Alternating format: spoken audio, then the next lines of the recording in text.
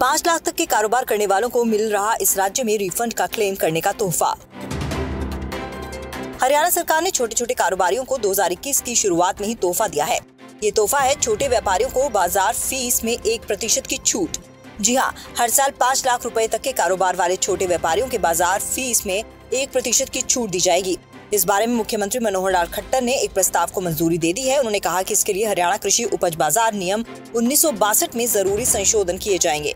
यानी कि कोई भी छोटा व्यापारी बाज़ार सीमित में अपने सालाना रिटर्न दाखिल करते समय बीते साल के दौरान हरियाणा में एग्री प्रोडक्ट की बिक्री से अपना सालाना कारोबार पाँच लाख रुपए से कम बताता है तो वो रिफंड का दावा कर सकता है।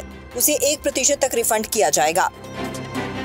डब्ल्यूएचओ अलर्ट सावधान इकतालीस देशों में कोरोना का नया स्ट्रेन महामारी फैल रही दोगुनी रफ्तार से।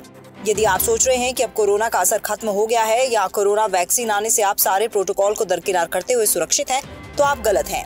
जी हाँ विश्व स्वास्थ्य संगठन ने अलर्ट जारी करते हुए कहा है कि कोरोना का नया स्ट्रेन अब तक दुनिया के इकतालीस देशों में दस्तक दे चुका है।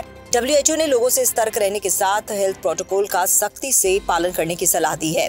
नए वायरस के खतरे को देखते हुए ब्रिटेन में डेढ़ महीने के सख्त लॉकडाउन का ऐलान किया गया है।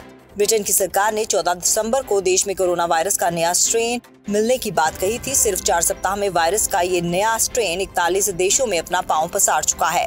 आठ फरवरी से आपका व्हाट्सएप खुद डिलीट हो जाएगा, लागू होंगी नई शर्तें। इंस्टेंट मैसेजिंग ऐप व्हाट्सएप ने अपनी terms of service and privacy policy को अपडेट कर दिया है।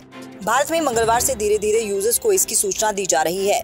रिपोर्ट के मुताबिक कंपनी ने नई पॉलिसी को स्वीकार करने के लिए यूज़र्स के लिए 8 फरवरी 2021 की समय सीमा निर्धारित की है। इस पॉलिसी को एक्सेप्ट नहीं करने पर आपका व्हाट्सएप अकाउंट डिलीट हो जाएगा। यदि आप ऐप का इस्तेमाल जारी रखना चाहते हैं तो आपको टर्म्स ऑफ़ सर्विस और प्राइवेसी पॉलिसी 8 फरवरी से माननी होगी। यदि आप ऐसा नहीं करते तो 8 फरवरी से अपने व्हाट्सएप अकाउंट का इस्तेमाल आप नहीं कर पाएँगे।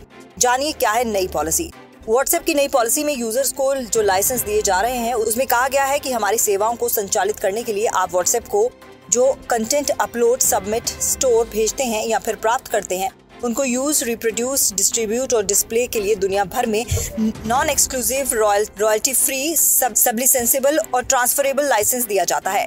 इसके अलावा नई पॉलिसी के तहत फेसबुक और इंस्टाग्राम का इंटीग्रेशन होगा। हालाँकि व्हाट्सएप का डेटा पहले भी फेसबुक के साथ साझा किया जा रहा था, लेकिन अब फेसबुक के साथ व्हाट्सएप और इंस्टाग्राम का इंटीग्रेशन पहले से ज़्यादा होगा। आपके बिज़नेस का सच्चा साथी।